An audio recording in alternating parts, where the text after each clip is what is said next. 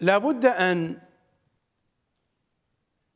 ننتبه إلى أن التفاصيل التي ذكرتها لكم قبل الفاصل بخصوص مكونات طعام هذه المائدة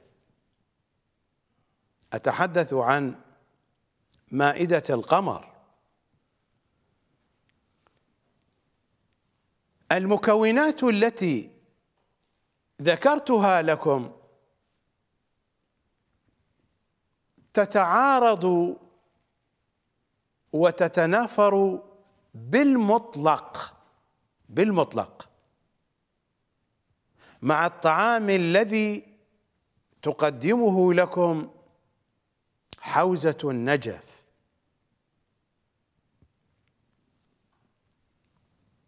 مكوناتنا تختلف اختلافا كاملا بدرجة مئة بالمئة عن مكونات طعام مرجعية النجف وكربلاء. هذه القضية لا بد أن تعرفوها.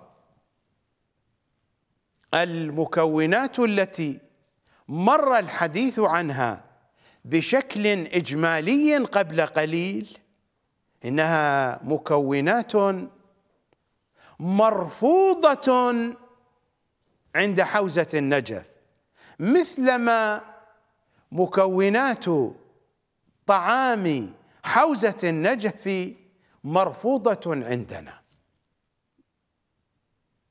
لأن مكونات طعام حوزة النجف مكونات نجسة محرمة. لا يجوز للعقل الشيعي أن يتناولها. طعامهم طعام حرام.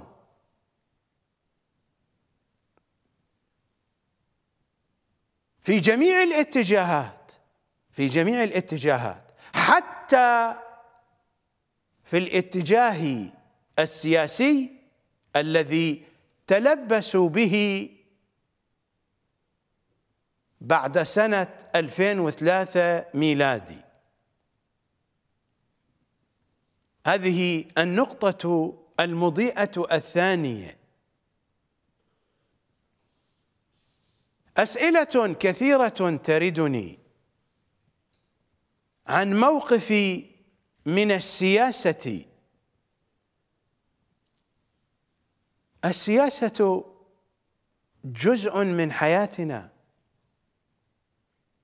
السياسة جزء من ديننا.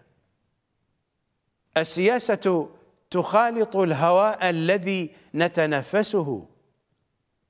السياسة تخالط الطعام الذي نأكله. تخالط الشراب الذي نشربه. لا يستطيع الإنسان في الحياة إذا كان يعيش حياة طبيعية أن يكون منفكا عن السياسة وعالمها. القضية ليست اختيارية. مثلما هناك ضرورة الطعام والشراب وهناك ضرورة النوم والدواء وهناك ضرورة السكن واللباس وهناك وهناك هناك ضرورة السياسة في الحياة. فهي تخالط الدنيا في كل أجزائها وتخالط الدين في كل أجزائه. لا نستطيع الفرار منها. السياسة تلاحقنا وهي معنا ونحن معها.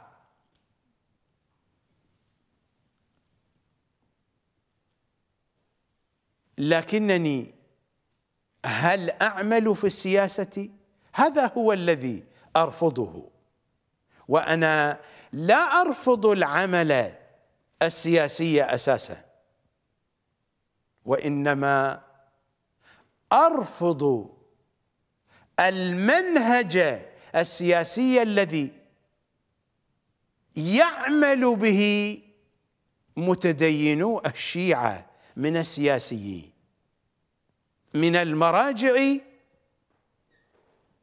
أو من الأحزاب الدينية السياسية. في السياسة منهجان. هناك منهج علي. المنهج الذي تكون فيه السياسة بكل تفاصيلها في خدمة الدين. هذا منهج علي ولا وجود له بيننا. لو كان هذا المنهج موجودا بيننا لكنت أول الراكضين اليه ولكنت أشد المتمسكين به. والمستقتلين عليه لكن المنهج الذي يسود الواقع الدينيه الشيعي هو منهج السقيفه هو منهج معاوية. هو منهج المروانيين. هو منهج العباسيين. هو منهج الشياطين. إنه المنهج الذي يجعل الدين في خدمة السياسة. وهذا هو الذي فعلته مرجعية النجف عموما ومرجعية السيستاني خصوصا. منذ سنة 2003 وإلى هذه اللحظة. إنهم يوظفون الدين في خدمة مصالحهم السياسية. وأعتقد أن ما عرضته لكم في الحلقات الماضية من سيرة السيستاني وأمثاله من المراجع المعاصرين يتحدث بشكل واضح عن هذه الحقيقة. ما فعله السيستاني مع عمرو موسى الذي كان أمينا عاما للجامعة العربية قرأت عليكم ما كتبه عمرو موسى في الجزء الثاني من كتابه كتابية عما جرى فيما بينه وبين السيستاني حينما زار السيستاني في بيته في النجف. وطلب السيستاني أن يختلي بعمر موسى لوحده. وكان ولده محمد رضا يختلي بمساعد عمرو موسى في غرفة أخرى لوحدهما. وماذا قال له؟ عمرو موسى هو الذي ذكر هذا في كتابه. وذكره أيضا في مقابلة تلفزيونية وقد عرضت ذلك كله عليكم. وللعديد من المرات عودوا إلى الحلقات الماضية. حين اختلى السيستاني بعمر موسى كان يصر عليه يوجه الخطاب إلى الحكومات العربية الا تلقوا بالعراق في أحضان إيران وإنما خذوه إليكم إلى أحضانكم. وما يجري في العراق الآن النتائج الطبيعية لهذا المخطط السيستاني الشيطاني. فالسيستاني وظف الدين ومقامه الديني والمرجعية الدينية. لأجل أن يحقق مآربه السياسية. وإلا فهذا المنطق منطق يرضي إمام زماننا. أنا لا شأن لي بإيران. وإنما أتحدث عن المرجع الأعلى للشيعة يلقي بالشيعة في أحضان النواصب. هل هذا منطق محمد وآل محمد أم أنه المنطق الأموي القذر المنطق العباسي الوسخ؟ إنه المنهج الذي يتبنى أن يوظف الدين في خدمة السياسة. هذا هو الذي أرفضه من السياسة وأبتعد عنه لأن كثيرين يقولون لي لماذا لا تتوجه توجها سياسيا؟ وفقا لأي منهج؟ لمنهج السيستاني هذا أو لمنهج حزب الدعوة وسائر الأحزاب والميليشيات القطبية الأخرى. فهم كلهم على نفس هذا المنهج.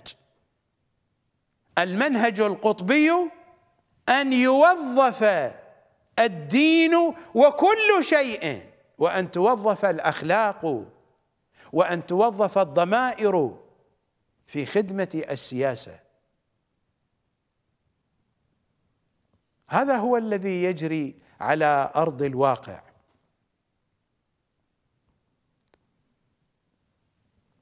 وهذا الفساد والإفساد وهذا الضلال والإضلال هو جزء مهم من مكونات طعام حوزة النجف من مكونات طعام مرجعية النجف بشكل عام والسيستاني بشكل خاص لأنه هو المرجع الأعلى. لابد أن تلتفتوا وأن تقيموا السياسيين. أتحدث في أجوائنا الدينية الشيعية. لا شأن لي بالسياسيين من الاتجاهات الأخرى. إنما أتحدث عن الذين يدعون التشيع ويدعون التدين ويدعون التأسلم. أتحدث عن هؤلاء. ميزوهم وفقا لمنهجهم.